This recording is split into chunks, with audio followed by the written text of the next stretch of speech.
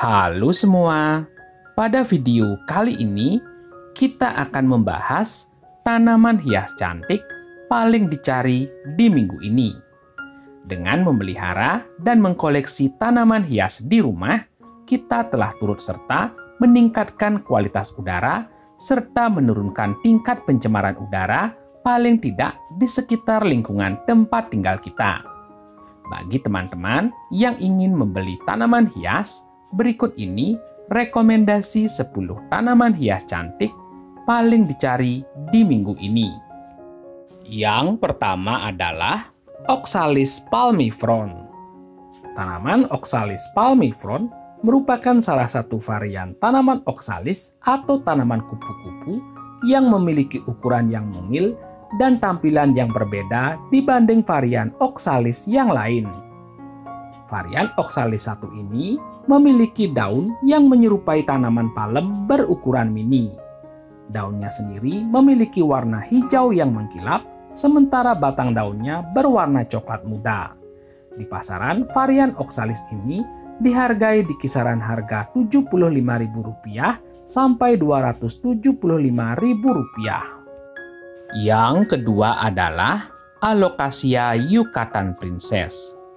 Tanaman Alocasia Yucatan Princess merupakan salah satu varian Alocasia dengan tampilan yang sangat elegan. Varian Alocasia ini memiliki daun berbentuk hati dengan ukuran lumayan lebar. Daunnya sendiri berwarna hijau tua dengan bagian batang serta tulang-tulang daunnya berwarna coklat kemerahan.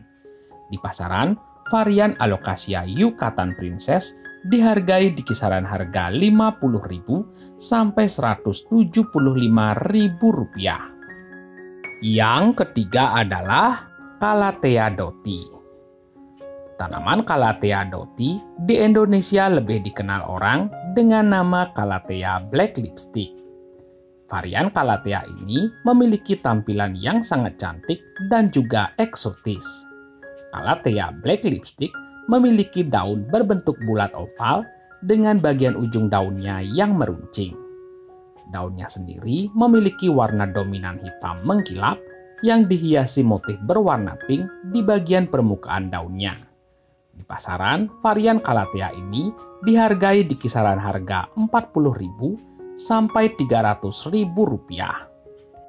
Yang keempat adalah Hoya Matilda Splash. Tanaman Hoya Matilda Splash merupakan salah satu varian tanaman hias Hoya yang memiliki motif daun sangat menawan. Varian Hoya satu ini memiliki daun lumayan tebal, berukuran kecil dengan bentuk oval. Daunnya sendiri memiliki warna dasar hijau tua yang dihiasi motif bercak-bercak berwarna putih keabu-abuan di bagian permukaan daunnya. Di pasaran, Hoya Matilda Splash dihargai di kisaran harga Rp100.000 sampai Rp450.000. Yang kelima adalah Philodendron Birkin. Tanaman Philodendron Birkin merupakan salah satu varian Philodendron yang sangat populer dan banyak disukai orang karena motif daunnya yang cantik. Varian Philodendron ini memiliki daun yang tidak terlalu besar dengan bentuk oval dan bagian ujung daunnya yang meruncing. Daunnya sendiri memiliki warna dasar hijau dengan motif garis-garis berwarna putih di bagian penampang daunnya. Di pasaran, tanaman Philodendron Birkin dihargai di kisaran harga Rp150.000 sampai Rp1 juta rupiah. Yang keenam adalah keladi Hilo Beauty. Tanaman keladi Hilo Beauty juga sering disebut keladi army. Varian keladi hias satu ini sedang banyak dicari orang karena keindahan corak daunnya.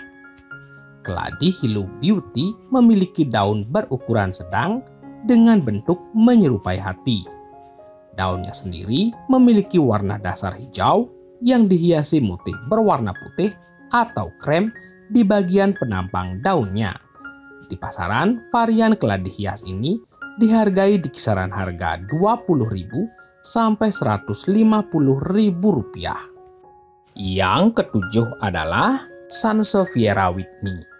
Tanaman Sansevieria whitney merupakan salah satu jenis Sansevieria atau lidah mertua dengan tampilan yang elegan dan sangat menarik.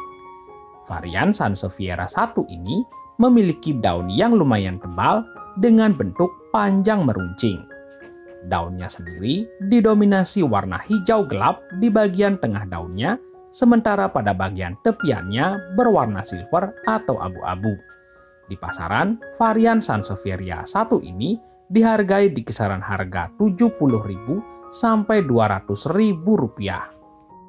Yang kedelapan adalah Aglonema super white.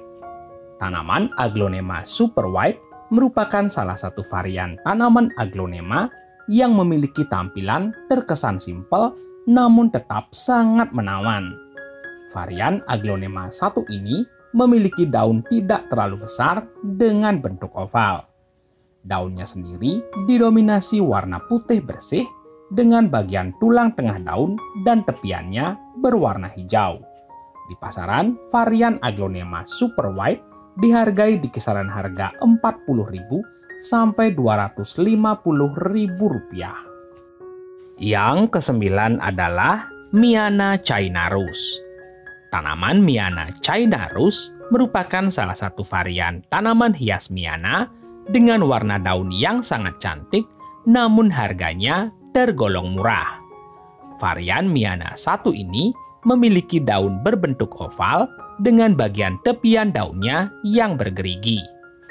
Daunnya sendiri berwarna pink cerah di bagian tengah daunnya, sementara tepian daunnya berwarna coklat. Di pasaran, tanaman Miana Chainarus dihargai di kisaran harga 10.000 sampai 50.000 rupiah. Yang ke-10 adalah palem kuning. Tanaman palem kuning merupakan salah satu tanaman hias yang banyak dipilih orang untuk dijadikan penghias ruangan selain karena tampilannya yang cantik, juga kemampuan tanaman ini menyerap zat-zat racun di udara. Palem kuning memiliki daun berbentuk ramping panjang yang tumbuh simetris di sepanjang tangkai daunnya. Daunnya sendiri memiliki warna hijau, sementara batangnya berwarna kuning kehijauan. Di pasaran, palem kuning dihargai di kisaran harga 30.000 sampai 170.000 rupiah. Itulah 10 tanaman hias paling dicari di minggu ini. Sekian video kita kali ini. Semoga bermanfaat buat teman-teman semua. Terima kasih atas kesediaannya meluangkan waktu menonton video ini.